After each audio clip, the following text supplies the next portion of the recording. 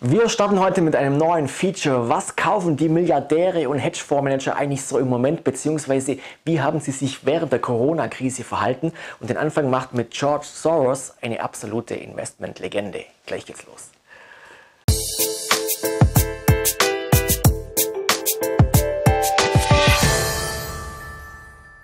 Seid gegrüßt, liebe Börsianer, willkommen auf meinem Aktienkanal. Ich freue mich sehr, dass ihr wieder mit dabei seid. Und wir haben heute ein neues spannendes Feature, wie ich finde. Und zwar schauen wir uns an, was George Soros eigentlich so während der Corona-Krise getrieben hat, was Warren Buffett gemacht hat, das haben wir ja hinlänglich besprochen inzwischen, nämlich nicht allzu viel, beziehungsweise vor allem verkauft. Ähm, über George Soros wird relativ wenig ähm, gesprochen im Moment, obwohl er durchaus spannende Aktien gekauft hat zuletzt. Und deswegen habe ich mir George Soros heute mal rausgegriffen und schauen wir das genauer an, was er eigentlich da in sein Depot aufgenommen hat. Soros gilt ja zu Recht als einer der erfolgreichsten Investoren aller Zeiten in den USA, inzwischen 89 Jahre alt, Nettovermögen bei 8,3 Milliarden Dollar, damit die Nummer 56 unter den reichsten Personen der USA. Und berühmt wurde er in Deutschland, wisst ihr wahrscheinlich, oder viele von euch wissen das wahrscheinlich noch durch die Wette gegen die englische Notenbank 1992. Damals hat er im großen Stil das britische Pfund geschortet und im Gegenzug die deutsche D-Mark gekauft und hat dadurch so viel Druck auf das Pfund ausgeübt, dass Großbritannien damals aus dem äh, diesem Wechselkursmechanismus äh, der europäischen Länder aussteigen musste, den, das Pfund rausnehmen musste. Und mit dieser Spekulation hat äh, Soros damals auf einen Schlag 1,8 Milliarden Dollar verdient und wurde quasi über Nacht berühmt. Aber es ist nicht so jetzt, dass er grundsätzlich so ein, nur so ein extremer Spekulant wäre. Er hat sein Vermögen schon sehr breit angelegt, inzwischen auch ein bisschen vielleicht der Vorsicht im Alter geschuldet, auch viel in Schuldverschreibungen, Anleihen und so weiter, auch in Gold war teilweise stark investiert. Ähm, was Soros aber auch für mich persönlich interessant macht, das ist seine, seine Theorie, seine Reflexivitätstheorie äh, für den Aktienmarkt und nämlich, dass er davon ausgeht, dass es eine Art Feedback-Schleife gibt zwischen dem Aktienkurs und den Fundamentaldaten der Firma und dass daraus ähm, eine Art Boom oder Crash bei der betreffenden Aktie resultieren kann. Also es geht hier um dieses Herdenverhalten bei den Anlegern, das regelmäßig dazu führt, dass Aktien mit einer guten Story in unvorstellbare Höhen getrieben werden und umgekehrt auch Aktien extrem weit fallen können, also weit über das, ja, über, das hinaus, was fundamental eigentlich berechtigt wäre. Und das ist ja auch ein Phänomen, das sich Trendfolger wie ich und vielleicht auch ihr ja seid, am Aktienmarkt zunutze machen. Denn wir versuchen ja auch solche Aktien zu finden, wo es zu einer Trendbeschleunigung kommen kann, nachdem sie aus einer Konsolidierung auf neue Hochs ausgebrochen sind. Deswegen interessant für mich, was kauft Showers eigentlich? Und ähm, Genau. Vielleicht kurz vorab, es gibt ja dieses 13F-Formular, das müssen Fonds, Hedgefonds veröffentlichen, wenn sie über 100 Millionen US-Dollar äh, Assets under Management haben. Und das macht natürlich auch Soros, wobei man sagen muss, dass er in diesem Formular nur 15% seiner Position insgesamt offenlegt. Und ähm, ja, wie hat er sich während, seiner, während der Krise verhalten im ersten Quartal? Und das Spannend ist zunächst mal, dass er von 173 auf 118 Positionen reduziert hat und der Portfoliowert von 3,1 Milliarden auf 1,98 Milliarden Dollar zurückgegangen ist. Das heißt, ähm, auch der Star-Investor hat hier kräftig federn lassen müssen während dem Corona-Crash und vor allem hat er stark verkauft auch. Ähm, die mit Abstand größte Position ist Liberty Broadband. Die hat fast 30% Depotgewichtung zum Stichtag, aber die hält er schon seit 2016. Das ist so bisschen komplex. Also die wichtigste Beteiligung von Liberty wiederum ist Charter Communications und die haben ein eigenes Mobilfunknetz in den USA. Da ist dieser, dieser John Malone, der Telekom-Magnat, auch, äh, hat da auch seine Finger mit im Spiel. Er macht immer so steuereffiziente, ziemlich komplexe Transaktionen. Also man kann sagen, Liberty ein solides Langfristinvestment, aber spielt jetzt momentan nicht die große Rolle bei, also was die Transaktionen betrifft. Er hat Soros eher reduziert gehabt im vierten Quartal 2019 schon. Ähm, Zweiter Wert, äh, Vici Properties, heißen die mit 4,2% schon deutlich geringer gewichtet. Dann gibt es noch D.R. Horton, ein Hausbauer, der vorne mit dabei ist. Peloton Interactive, komme ich gleich dazu. Und Activision Blizzard, das sind die, die Top 5 im Portfolio. Und was uns aber heute vor allem interessiert, wie gesagt, ist, was hat Soros eigentlich zuletzt gekauft und vor allem wie viel davon. Ähm, und da muss man sagen, er hat eigentlich nicht allzu viel eingekauft vorab mal. Also auch hier eine Parallele zu Warren Buffett. Und äh, von den sechs Werten, wo er überhaupt nur neu aufgenommen hat bzw. aufgestockt hat, waren drei davon sehr, sehr konservative Investments. Ein ETF auf einen Energieversorger, ein ETF auf Kommunalanleihen und ein ETF auf Unternehmensanleihen mit äh, guter Bonität. Und äh, im Gegenzug dazu hat er ja 55 Werte insgesamt im ersten Quartal komplett verkauft. Wirklich interessant sind aber die drei Aktienpositionen, wo er gekauft bzw. aufgestockt hat. Zum einen E-Trade, der Online-Broker kennt ihr wahrscheinlich. Ähm, da dürfte die Idee gewesen sein, dass Broker von der erhöhten Schwankungsbreite an den Märkten ja profitieren während der Corona-Krise, weil Anleger einfach mehr Transaktionen durchführen. Und zudem hat E-Trade äh, bereits zuvor ja ein Übernahmeangebot von Ameritrade erhalten gehabt, war also in gewisser Weise nach unten teilweise auch abgesichert dadurch. Und ähm, dieses Chance-Risiko-Verhältnis hat Soros wohl gefallen. Und ähm, deutlich aufgestockt hat er, wie gesagt, auch bei Activision Blizzard, ein Computerspielehersteller. Und diese, ja, diese Spezies von Aktien, die gelten ja auch als Gewinner der Corona-Krise, weil die Kids eben und, und, nicht nur die Kids jetzt noch mehr Zeit haben, ähm, daheim vor dem PC oder vor der Konsole zu zocken.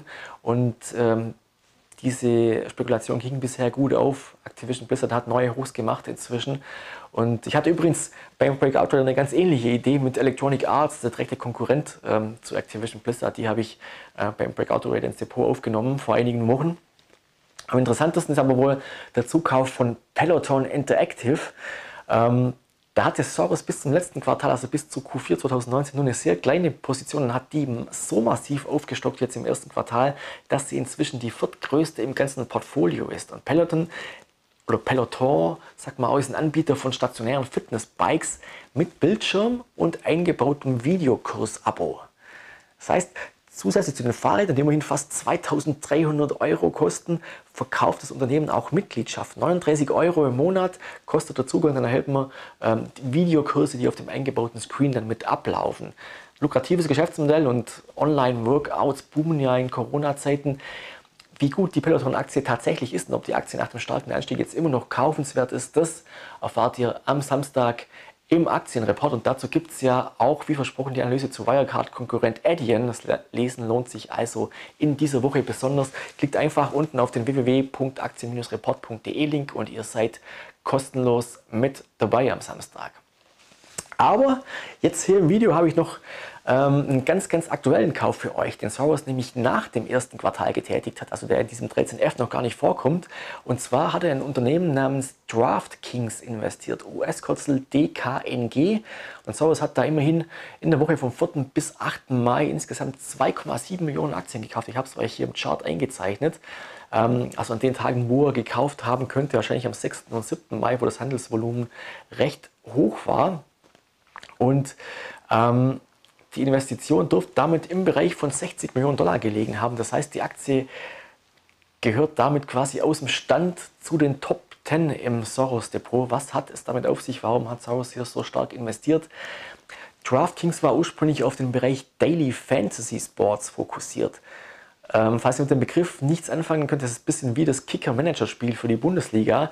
Das heißt, die, die Gamer tre treten da gegeneinander an, indem sie ein Team von Profisportlern ähm, aus einer bestimmten Liga oder einem bestimmten Wettkampf aufbauen und dabei halt unter einer gewissen Gehaltsobergrenze bleiben müssen.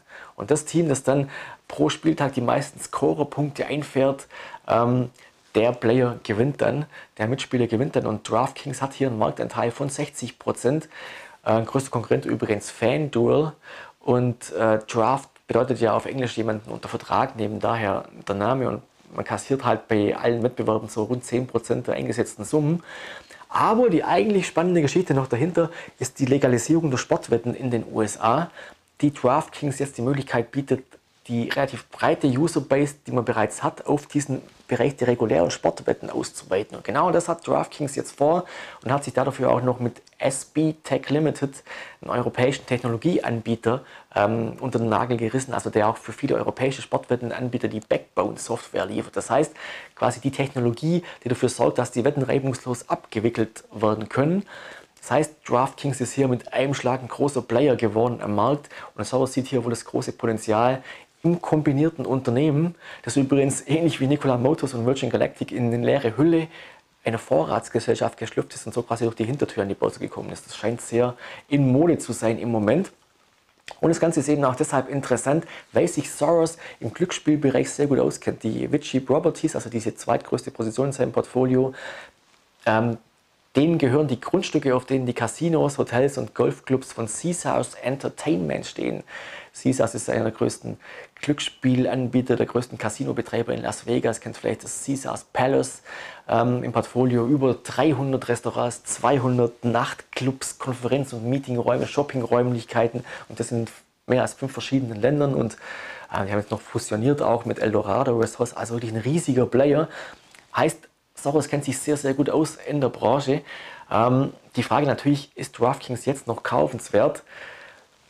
Prinzipiell ja, finde ich, weil diese ganzen Bundesstaaten, die werden sich jetzt na, erst nach und nach für die Sportwetten öffnen und nach und nach kann dann DraftKings dieses Potenzial äh, ausnutzen, das vorhanden ist. Allerdings sieht Goldman Sachs zum Beispiel die Aktie jetzt bei, mit einem Kurs bei von 32 Dollar ungefähr fair bewertet an.